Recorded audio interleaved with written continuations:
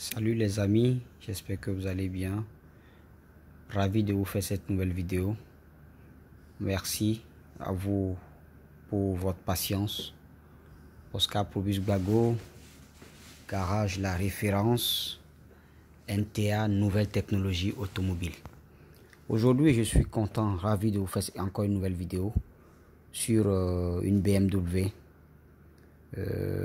328 i X-Driver, année 2014. Le souci ici, nous avions un problème avec le BCM, et je dis le BCM, le module FEM, et je suis en train de vouloir cloner ce, ce module FEM.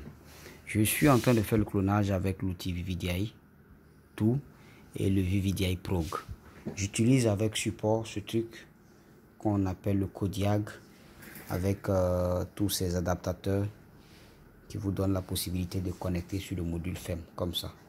Vous avez vu, vous l'ouvrez tranquillement le module FEM. Où est-ce que j'ai mis le couvercle? Il est là. Voilà, vous l'ouvrez soigneusement des côtés des extrémités. Vous l'ouvrez des extrémités là et de l'autre extrémité là.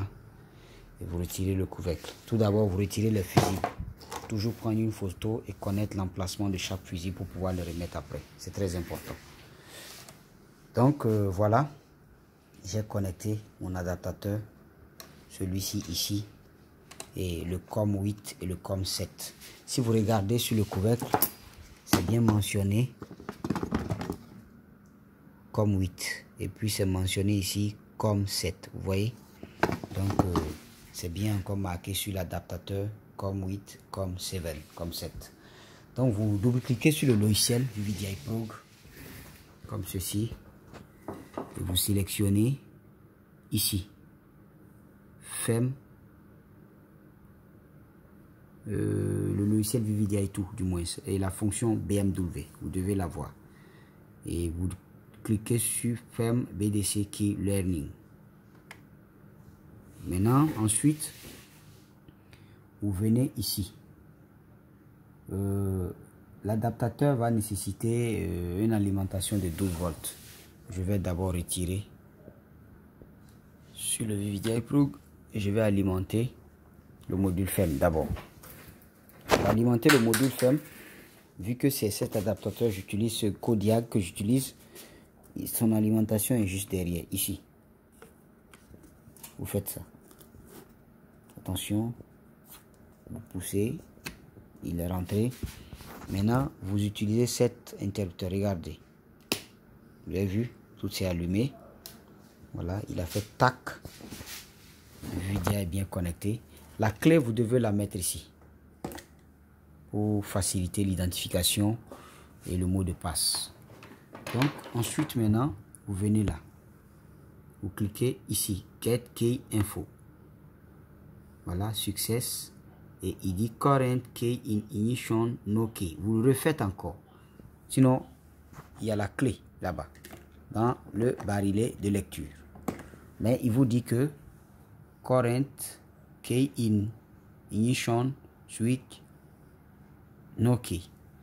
Vous refaites read une fois encore et vous allez voir qu'il va changer de statut à ce niveau. Je fais read encore. Il a toujours dit non. Je continue. Voilà, il a donné maintenant key number 3. La clé, le numéro 3. Voilà, donc euh, vous devez répéter à plusieurs reprises. Je vais lui dire read, read backup. Ok, read backup coding. Restore backup coding. Donc, je vais à backup coding. J'ai besoin du backup. C'est-à-dire le fichier flash full. Donc là, maintenant, j'ai pu lire euh, le fichier flash. J'ai pu lire le fichier flash. J'avais déjà sauvegardé. Je vais le ouvrir ici. Je vais mettre euh, FEMBDC je mets ori original qui veut dire original ori ori ORI 315. la fréquence du FEM de la clé, c'est 315. 315 MHZ. M H Z. OK.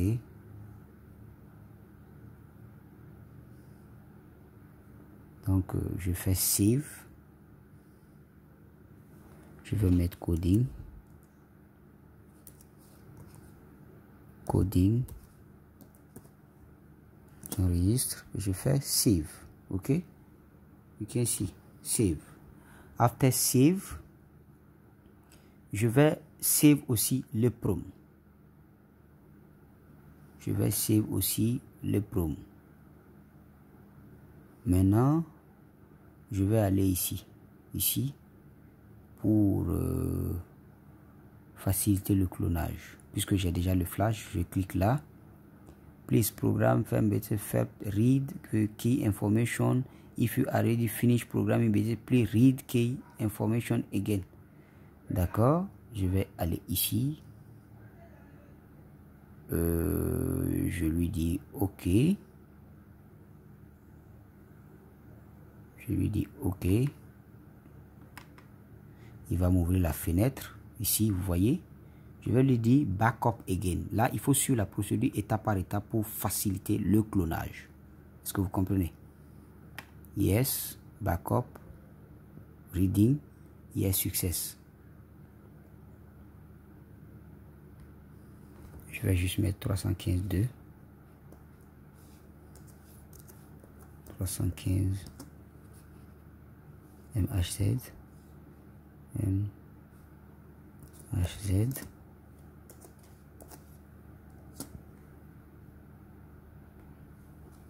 Je vais faire ORI. Et voilà. Je l'ai enregistré. Maintenant, il dit Open FEM BDC Shell Read et Prom Dump via BDM Programmer. Press OK to view. OK. Ship Position. Mais comme moi je suis un professionnel, je connaissais ça déjà. J'ai déjà positionné.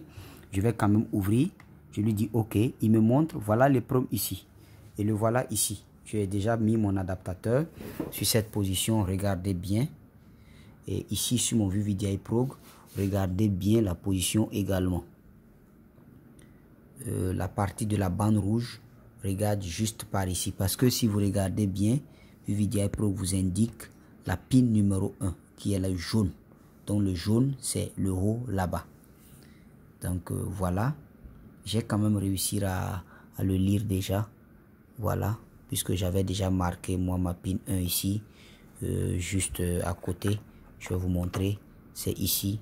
Voilà. Donc ne mettez pas dans ce angle là vous mettez dans ce temps ici, devant, à la devanture, en respectant la bande rouge.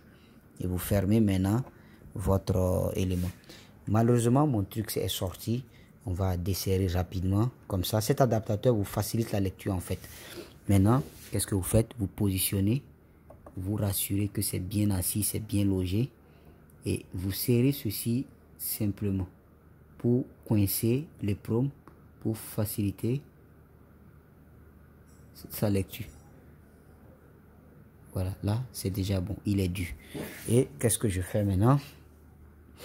Je vais lui donner une alimentation de 12 volts. Parce que là, il a besoin. Voilà. J'ai une alimentation de 12 volts ici. Je veux le tirer bien pour faciliter. Donc voilà donner une alimentation de 12 volts. Malheureusement, lui, je vais pas se rapprocher.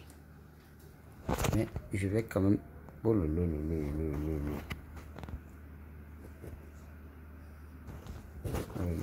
Pardon. Je vais pousser juste ici. Voilà. Je vais le faire tomber. Sorry. Sorry. Donc euh, lui, il s'est arraché. Je vais le reprendre rapidement.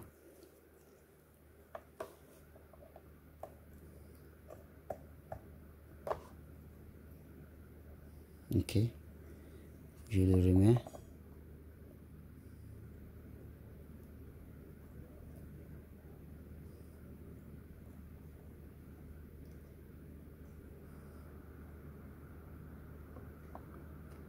Donc voilà, j'ai bien réussi cela. Mon adaptateur est branché. Je vais lui dire position picture, c'est bien ça, il est là. Je ferme juste là. Et qu'est-ce que je fais? Euh, J'ouvre maintenant mon VVDI Pro ici. Voilà, j'avais déjà lu les pros. Mais je vais le fermer. No. First, no save, close. Yes, je ferme. Je lui dis read. Read me et prom. Voilà. Il va lire les pros. Voilà. Check, check, il a lu. Donc voilà mon fichier EPROM ici, lu avec VVDI Pro. VVDI Pro, le voilà. Ça, c'est VVDI 2. Donc suivez bien les étapes. C'est très important. Et je lui dis save il va m'enregistrer le fichier save je fais ori ori et prom. Prom. 315 M. HZ 315 MHZ maintenant le prom c'est un 95 128 donc euh, M.